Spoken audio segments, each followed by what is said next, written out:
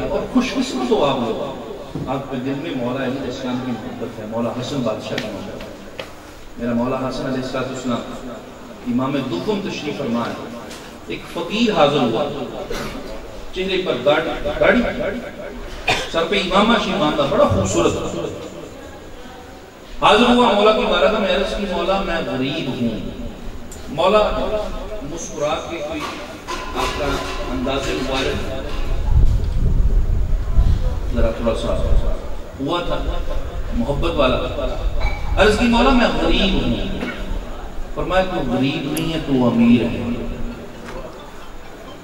پھر عرض کی مولا، میں بہت غریب ہوں۔ فرمایا، تو غریب نہیں ہے، تو بہت امیر ہے۔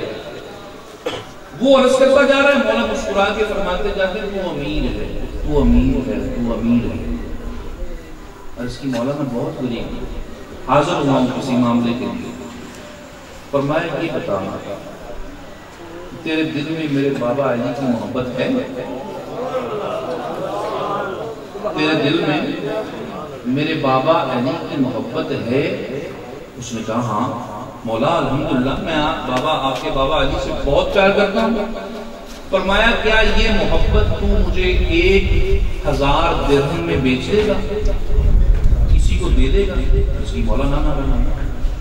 فرمایا کیا یہ محبت تو پانچ ہزار درہم میں بیچ سکتا ہے اور اس کی مولا قطن نہیں فرمایا کیا تو یہ یہ جو علی کی محبت تیرے دل میں ہے، ساری دنیا کی دولت تیرے قدموں میں رکھ دی جائے، تو بیچ دے گا اور اس کی مولا قطن نہیں فرمایا بتا پہ تجھ سے بڑا امیر کون ہوگا؟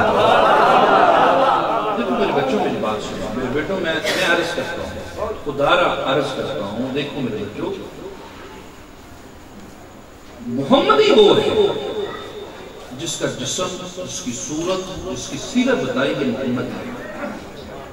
میں وہ واقعہ ہر جگہ بیان کرتا ہوں اور یہ واقعہ آپ نے خدارہ سننا نہیں ایسے یاد کرتا اپنے وقت کے بہت بڑے محدث گزرے ہیں، امام محمد رحمت اللہ ہے بہت بڑے محدث بہت بڑے محدث آپ رحمت اللہ علیہ تعالیٰ کی ذاتی کے بازار سے گزر رہے تھے۔ ایک عیسائی شخص نے دیکھا، بڑا متاثر ہوا۔ امام محمد اسی بازار سے دوسرے دن پھر گزرے۔ اس نے پھر دیکھا، بڑا متاثر ہوا۔ امام محمد تیسری مرتبہ پھر اسی بازار سے گزرے۔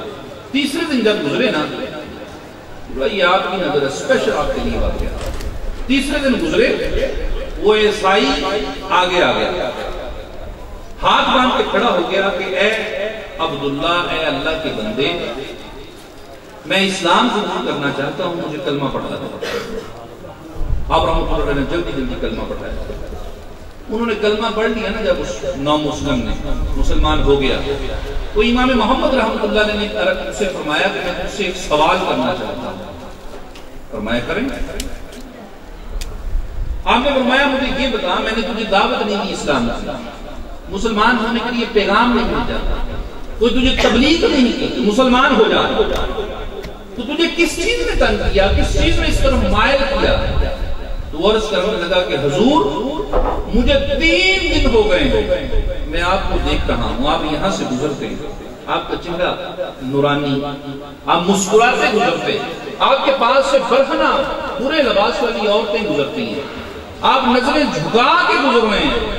میں تین دن سے سوچ رہا ہوں، جس امت کا چھوٹا محمد ایسا ہے، اس امت کا بڑا محمد کیسا ہے